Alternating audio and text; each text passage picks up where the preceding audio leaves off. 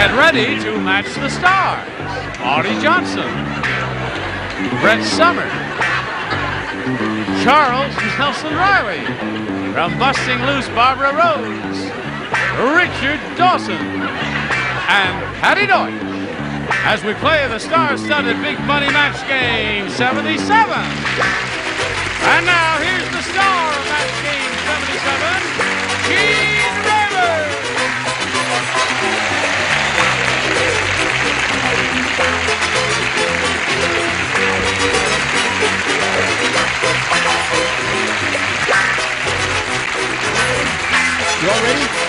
Are they ready? Listen, I'm sorry I couldn't get a pair of pants that match your coat and vest, but that's the way it is. You look very handsome. Thank you good. You Look much. adorable. Goes good with your jockey shorts. Which are also blue. Let's say hello to our two players, Susan Stewart and Kit John.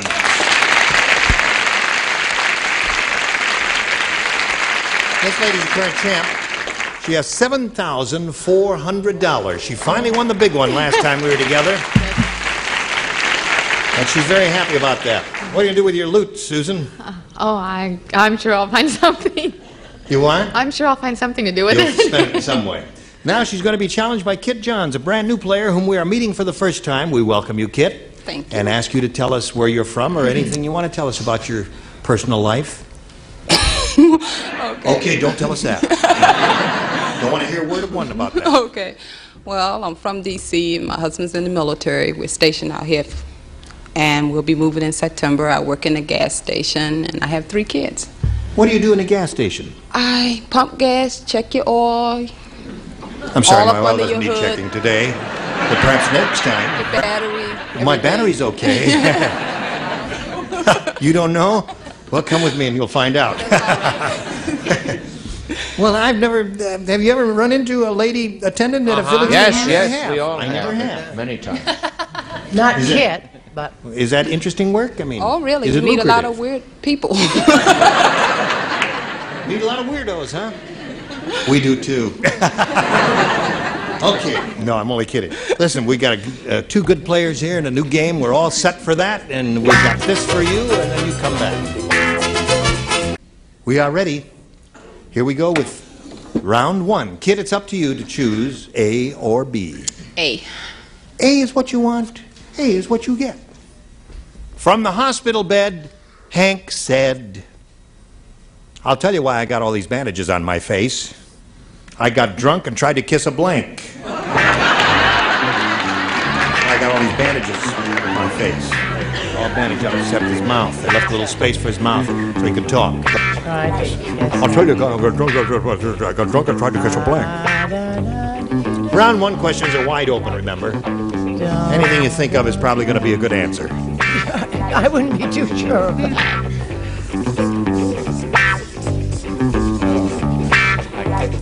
All right.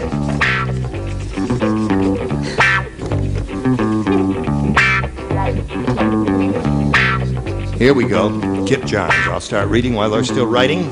They've all got their ideas. From the hospital bed, Hank said, I'll tell you why I got all these bandages on my face. I got drunk and tried to kiss a blank. Porcupine. A porcupine. That's a very good answer. Kit, you're okay. Came up with a very imaginative, creative answer. I liked hers better than I like mine. I must be. Show honest. us your rotten answer. I said kiss a moving Cuisinart. a moving Cuisinart. That's very hard to do unless It's you've very got difficult. Yeah. You know what a Cuisinart is? It's like a flute a blender, A blender that's chopper, got sharp blades that that can tear your nose off at the knives roots. go around real fast. Also ruins your clothes. It It does. Yes. Yes. You're not supposed to put your clothes in it there. Oh, then I won't put it back. All right, Brett. What? What? What? What do you mean? What? What? What? What? I say that kid's too smart for the room. I said she tried to kiss the shark. He Right. tried to kiss the shark. So far, she's come up with the best answer. Kit Johns has over there. Sailor with long nails.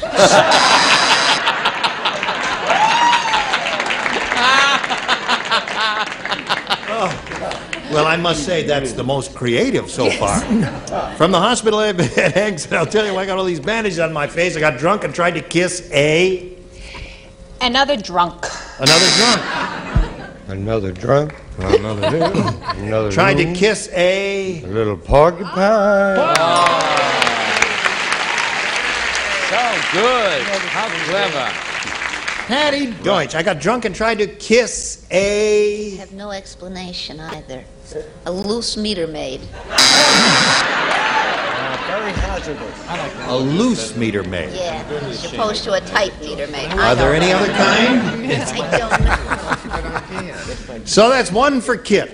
And now, Susan, we've got this for you. Hey, What? did you hear? Judy had an accident at the bakery. Oh, no. Yeah. Poor thing. Now she has blank buns. Poor little treasure. She had an accident in the Had an accident at the bakery. Now she has blank buns. Poor sweetheart.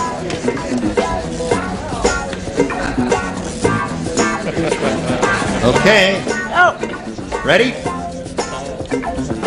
I'll re- uh, read while she writes. Did you hear that Judy had an accident at the bakery? Now she has blank buns. Burned. Burned? Burned buns. She went very straightforward and directly and said, And "Burned correctly. buns." It's an excellent answer. Marvelous answer. Excellent It's answer. Concise and right to the point, terse Right. and pithy. Pithy. That's yes. right. And that's why I said hot cross buns. Hot cross buns. That's a good answer. Sorry. Don't owe him. He's okay. What do you say? I didn't hear the mention of the word fire, you see, so therefore, or hot, or, or warm, or toasty, or any of that. yes. So therefore, you So said therefore, I said she had broken buns. broken buns. Broken buns. There's some uh, mean people Yes. out there, I tell you, in the world. Jo Stafford had a wonderful recording of that in the late 40s, Broken Buns. It was beautiful. Hot cross. Hot cross there. All right, Barbara Rhoades. Judy had an accident at the bakery. Now she has burned buns. No, she doesn't. She has hot cross buns. Hot cross buns. That would have occurred to me too. Oh, good. Son of. Son of hot cross, there it is. Hot cross buns. We're looking for burned buns. Not here. Not there. That was a good answer. Well, no burned buns. Lots of hot cross buns, though. So there we are at the end of round one, one and nothing to score. And round two follows round one, but first, a word or two. Hello there. Now, it's, uh, round one is over. Round two is coming up, and here we go. Kit Johns, you may have A or B. A. You want A? You sure? Yeah. Okay, she came up with a good answer last time. Well, she Listen should. carefully now. Excellent. Dick Dawson. Richard does not play. Howdy Doody and Mortimer Snerd formed an all puppet Boy Scout troop. Howdy and Mortimer start fires by rubbing their blanks together. That's my dog. It was a look, a howdy doody, and Mortimer Snerd formed an all puppet Boy Scout troop. Right? They start a fire. Boy Scouts start fires, you see, by rubbing two things together. Got it. I got it, hon. I got it. It's all clear now. Yes, sir. No? I'll uh, walk Took over here, time, talk to Kit Johns while they're finishing up. Are you writing, Artie? Yes, right. Here we go. Howdy Doody and Mortimer Snerd. You know who they are? You know who Howdy Doody is? Well, Mortimer Snerd is of the same genre. Okay? Mortimer Snerd is one of the, the uh, puppets that belonged to Edgar Bergen. Remember, he had Charlie. What was his name? Charlie McCarthy and Mortimer Snerd. Anyway, they're two uh, uh, puppets. Howdy Doody and Mortimer Snerd formed an all puppet Boy Scout troop. Howdy and Mortimer start fires by rubbing their blanks together. Their bottoms? Their bottoms. you really go for it, don't you? There. You know. Well, all right. We're back to hot cross buns again. That's right. Uh-huh. she said rub their bottoms together. That's absurd. You know, that's absolutely absurd. And I agree with her. I said rears. Rears. Okay, Kit, you're up to two. Now, if one Eskimo of the male gender rubs his nose with another Eskimo of the female gender, they have to get married. Yes. But a couple of dummies can rub their noses together and start a fire. Right. Okay, nose is good. Not a She's- match. No, she's looking for bottoms, but that's a good answer. Dummies get together and rub their noses and start a fire? Yeah. It sounds like you two in Encino on Thursday. Noses! Why do we straight for him? I don't know. Besides, it's Friday. Oh. Um, Howdy and Mortimer start fires by rubbing their bottoms together. I took a broader view. Oh, really? Yes, their little bodies. Their little bodies. The entire body. Which includes their little body. Yes. But now we come to Patti Deutsch. Well, I guess that lets out cells. Cells. Yep, that lets that out. So, Kit, you've got two. Now, Susan, you need two to tie and three to win. On Christmas Eve, Linda didn't have any stockings. Oh. So she hung her blank over the fireplace. Those questions that are, are we could Brings a tear to your eye, doesn't it? Makes me very upset. Linda didn't have any stockings. On Christmas Eve, so she hung her blank over the fireplace. Just, it's a heartbreaker, that question. Yes.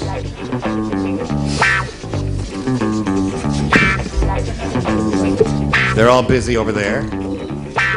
And here we go. On Christmas Eve, Linda didn't have any stockings, so she hung her blank over the fireplace. Her bra.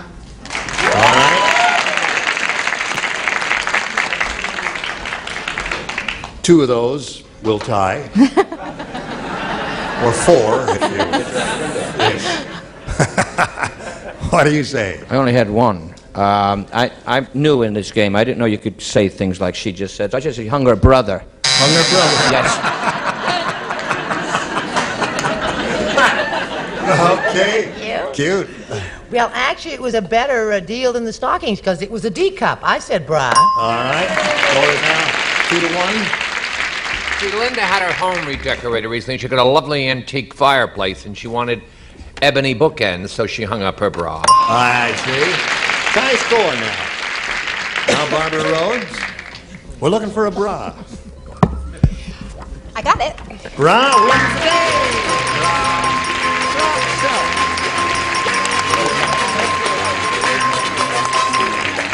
Here we go again. You know where to go. Kid, it was a pleasure to meet you. Thank you.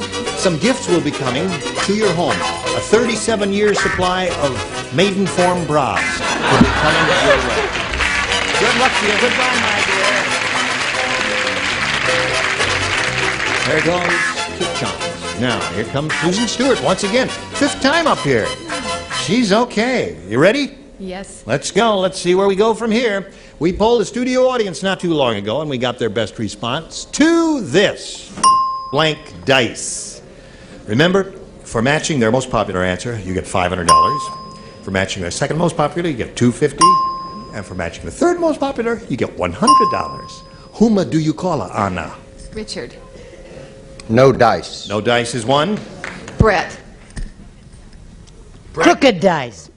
Crooked dice. And Charles. I'll. Oh, good. Oh, good. Yeah, Good. Something's coming. Good. Got an idea, Charles? Yeah, start again so that we can edit that part out. Oh, okay. uh, who do you who do you want for your third one? Charles. Oh, Charles. Oh! Loaded. Loaded. Okay, so you have loaded dice, crooked dice, and no dice. One of those three, or one of your own. I think I'll go with loaded. Loaded dice. You apparently think she's correct in her choice, right? That's why you applauded her, uh, Charles, when he said that answer, and led her to choose that answer. You are responsible if she doesn't win. You. All right, here we go. Let's begin down at the bottom and reveal the $100 response. Roll the dice is one response. We are looking for loaded dice. May we see the $250 response? No dice. Okay, that was Richard's answer. Last chance for loading them dice. Here we go. Yeah! You did it again! Very good. Charles gave you that one. And again, Susan, you've won the $500. You now have an even $8,000 and no change. Even 8,000. Point zero zero. I'm going to play for 10 times that amount now or $5,000, remember. And you have to match one. I'm going to try Richard. Okay, Richard? Oh, now you tried me twice and I let you down. Brett won all that money. I'll do my best. Indeed, he will. He always does. All right, there she is. And here we go. Good luck to Susan. It's worth $5,000. And it goes like this blank flower. Or blank flower. Blank flower. Blank flower. Susan, give us an answer that matches his. We give you the money, and that's all there is to it. Here I am, Susan. You remember me? Blank. Flower. I can't think of that movie that had that flower in the name of it. A movie that had the flower in the name of it? Well, we'll give you a second or so. Uh, think out loud if you want to. No help from the audience, so you might mislead her. That was a Japanese kind of movie, I think. Really? Oh, it was no. Okay, okay. Um, I can't think of it either. or I'd whisper until you out of the corner of my mouth, which I know I wouldn't do that. Uh, blank flower. blank flower. Little flower. Little flower. She finally said, she drew a blank, finally thought of something. I had one answer in my mind only Were you thinking, by the way, of Cactus Flower? Is that the movie that you were thinking of? cactus flower. No? Sunflower. Sunflower. I said sunflower. Sunflower is a very popular response. Yeah. What is the name of the movie she was Flower trying to think drum Flower song. drum Wild, song, yeah. Wildflower would be nice. Flower drum song? Blank. Herring flower. All right. Well, you draw a blank on this show sometimes. That's the way it goes. flower. Now Enrich- Susan has her $8,000, and now we've got this for you.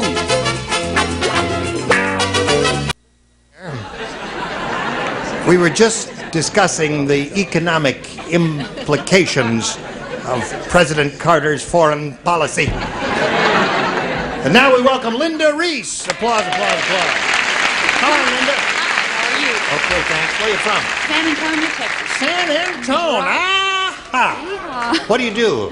I work for a major department store in Yep. San Antonio. Yeah. I have a six-year-old son named John, and I'm here with my husband, John. All right. And we're all having a real good time. Okay, I'm glad you're having a good time. Real good time. Good luck to you here, Linda. You may have A or B as we begin this game. Give me B. B it is. Linda Reese wants B. When the lawyer threatened Dumb Donald with a suit, Dumb Donald said, I'll take one with blank. when the lawyer threatened Dumb Donald with a suit, Dumb Donald said, I'll take one with blank. Gotcha. Oh, cute. I love. Yeah. Okay. Here we go, Linda Reese. When the lawyer threatened Dumb Donald with a suit, Dumb Donald said, I'll take one with blank. With a vest? With a vest. With a vest. Good answer. Yes, it's very good, very good. Dumb Donald, I happen to know him very well. He happened to say, two pair of pants. Two pair of pants is another good answer. Remember, first round questions, there can be uh, any number of good possibilities. What have you got? Wait, Don, he, Donald was dumb, but he had wonderful tasting clothes and a flair for elegance. He said he'd like some stripes. One with stripes, right? Chuck? Yo, Gene Hart. Two pairs of pants. Two pairs of pants already, he said. Dumb Donald. Hello, Barbara. Hi, Gene. Vest. Vestido. Vest. Vest. Yeah, Linda. When the lawyer threatened Dumb Donald with a suit, Dumb Donald said, I'll take one with. Two pair of pants, and then he burnt a hole in the jacket. Remember that joke? I'm just testing memories. Don't get tested. That's a goodie. What do you got, Patty? I got two pairs of pants. Two pairs of pants? Okay, so you picked up one there. And now let's see what we got for you, Susan Stewart. You've all seen Charlie's Angels, right? Yeah, well, they're coming out with a of spin off about a trio of fat girls. They're calling it Charlie's Blanks. Spin off of Charlie's Angels about fat girls. Three fat girls. They're calling it Charlie's Blanks. I don't like the way you say fat. Fat I like I love fat so- people. Fat is the operative word. Fat is, is uh, fat people are cute. Three obese girls. I, I, fat, fat water rat. 50 bullets in your head. Okay, Chuck. Let's get with it. Hello, Susan. You've all you've seen Charlie's Angels, right? Mm-hmm. They're coming oh, out. You, they're coming out with a spin-off about a trio of fat girls, and they're calling it Charlie's Blanks. Chubby cherubs. Charlie's Chubby Cherubs. I'm sure they've all said that over here. We'll find out now, Artie. I don't feel bad now. I said Charlie's Bulkies. Charlie's Bunkies. Now, this is a match. I don't want an argument. I don't want anybody You to be tell hateful. him, Show it. We'll be the judge. want Now, anything just, to uh, be hold your ugly. card I up. don't want anything hateful. Charlie's Cherub. Well, that's a direct match. Hello, Chuck. I don't want Any arguments on this?